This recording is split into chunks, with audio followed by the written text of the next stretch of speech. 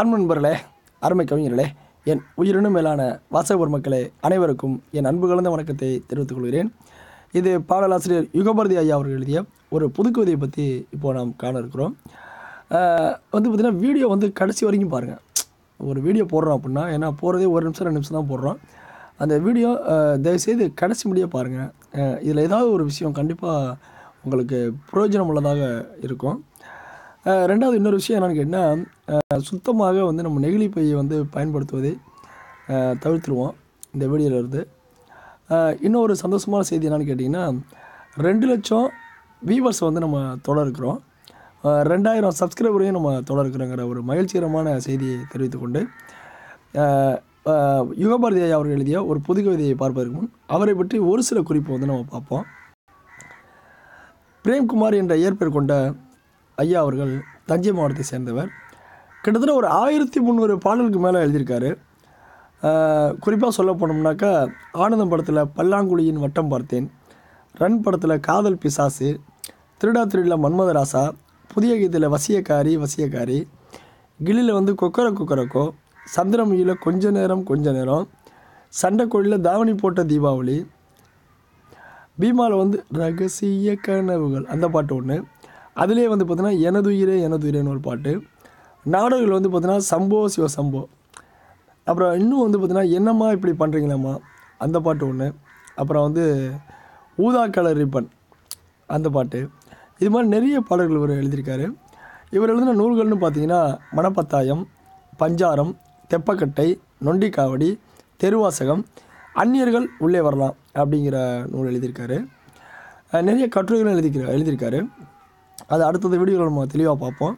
இப்போ அவர் எழுதின ஒரு கவிதையிலேருந்து ஒரு ஒரு கவிதை ஒரு ஒரு பத்து பாஞ்சு வரியில் அருமையான ஒரு கவிதை. என்ன ரொம்ப ரொம்ப கவர்ந்த கவிதை இது. பாருங்கள் உங்களுக்கும் கண்டிப்பாக பிடிக்கும். அதாவது நம்ம எல்லாமே ஒரு மாற்றத்துக்கு உள்ளாகிட்ருக்கோம் ஒவ்வொன்றா ஒவ்வொரு மாற்றத்துக்கும் உள்ளாகிட்ருக்கோம் அந்த மாற்றம் எப்படிலாம் நிகழுது அப்படிங்கிறத தான் இந்த கவிதையில் சொல்கிறார் அவர். முப்பது வருடத்தில் நாம் முற்றிலுமாக மாறிவிடுவோம். முப்பது வருடத்தில் நாம் முற்றிலுமாக மாறிவிடுவோம். நம்முடைய பிள்ளைகள் வளரக்கூடாத வளர்ச்சியோடு நிறைய சம்பாதிப்பார்கள். நம்முடைய வறண்ட வெளிகளில் ஆலைகளும் விற்பனை கூடங்களும் பெருகி இருக்கும். அது இப்போயே இருக்குது உள்ளடங்கிய சேரிகளும் அடுக்கக வாழ்வுக்கு தங்களை தயாரித்து கொள்ளும். குடித்தண்ணீரையும் காற்றையும் இலவசம் ஆக்குபவர்களுக்கு நம்முடைய வாக்குகள் விழும் அப்படிங்கிறாரு.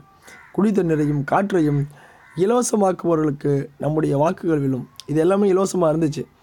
அப்போ இலவசம் ஆக்குபவர்களுக்கு அப்படின்னா அப்போ இலவசம் இல்லாமல் இருக்கும் அப்படிங்கிறாரு மின்சாரத்திற்கு மாற்றாக வேறு ஒன்றை கண்டுபிடித்திருப்போம். இணை அடையாளத்தையும் அரிசி உணவையும் அறவே கைவிட்டிருப்போம் அப்படிங்கிறார் நூடுல்ஸு அது மாதிரி ஸ்பைட் ரைஸு இது மாதிரிலாம் சாப்பிட போகிறோம் அப்படிங்கிறத சொல்கிறாரு வந்து பார்த்திங்கன்னா இன அடையாளத்தையும் அரிசி உணவையும் அறவே கைவிட்டிருப்போம் அப்படிங்கிறார் வாகனங்களை தலைக்கு மேலே ஓட்ட பழகியிருப்போங்கிறாரு. ஏன்னா நடக்கிறதுக்கு இடம் இல்லை அப்படிங்கிறாரு வீட்டுக்கு ஒரு விமானம் வாங்குவது கனவாக இருக்குங்கிறாரு. இப்போ வந்து பார்த்தீங்கன்னாக்கா டூ வீலரு காரு நிறையா வந்துருச்சு. வீட்டுக்கு ஒரு விமானம் வாங்குவது கனவாக இருக்குங்கிறார். முப்பது வருஷத்துக்கு அப்புறம். லாபம் தரும் மொழியை பழகியிருப்போம். தாய்மொழிலாம் மறந்துடுவோம் எது லாபம் தருதோ அதை பழகியிருப்போங்கிறார். லாபம் தரும் மொழியை பழகியிருப்போம். உறவினர் விருந்தினர் தொல்லைகள் இல்லாதிருப்போம். உறவினர் விருந்தினர் தொல்லைகள் இல்லாதிருப்போம். இப்போயே அது மாதிரி தான் இருக்குது கக்கடைசியில் இதான் ரொம்ப ரொம்ப பாதித்தது கக்கடைசியில் நம்மை பற்றி நாம் இன்னொருவரிடம் விசாரித்து கொண்டிருப்போங்கிறார். கடைசியில் நம்மை பற்றி நாம் இன்னொருவரிடம் விசாரித்து கொண்டிருப்போம். முப்பது வருஷத்துக்கு அப்புறம் இந்த மாதிரி தான் இருக்கும் அப்படிங்கிறது ஒரு அருமையான ஒரு பதினைந்து வரியில் ஒரு அருமையான கவிதையை சொல்லியிருக்காரு. பாடலாசிரியர் யுகபாரதி அவர்களுக்கு என் சிறந்தாலும் நன்றியை தெரிவித்துக் கொள்கிறேன். மீண்டும் ஒரு அருமையான படைப்போடும் அருமையான கவிதையோடும் அருமையான புத்தகத்தோடும் அருமையான சிந்தனையோடும் உங்களை சந்திக்கும் முன் உங்களிடம் விடைபெறுவது உங்கள் அன்பன் பாரதி மறக்காமல் வீடியோ கீழே பாருங்கள் ஒரு இருக்கும். அதை எழுத்து சப்ஸ்கிரைப் செய்து கொள்ளுங்கள். நண்பர்களுக்கு பயிருங்கள் உங்களது எண்ணங்களை மனநிலை கீழே உள்ள கமலை தெரிவிங்கள். நன்றி நன்றி நன்றி.